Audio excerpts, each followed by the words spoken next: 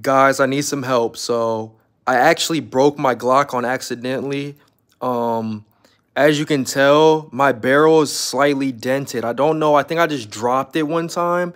And now when I shoot at the ops, I'm going to be busting and it's going to go right over their head because if you guys can barely tell, the barrel's actually kind of slanted towards upwards a little bit. So now I'm just going to have to aim at their nuts and the, the bullet might just have to like travel up directly like in diagonal arrow.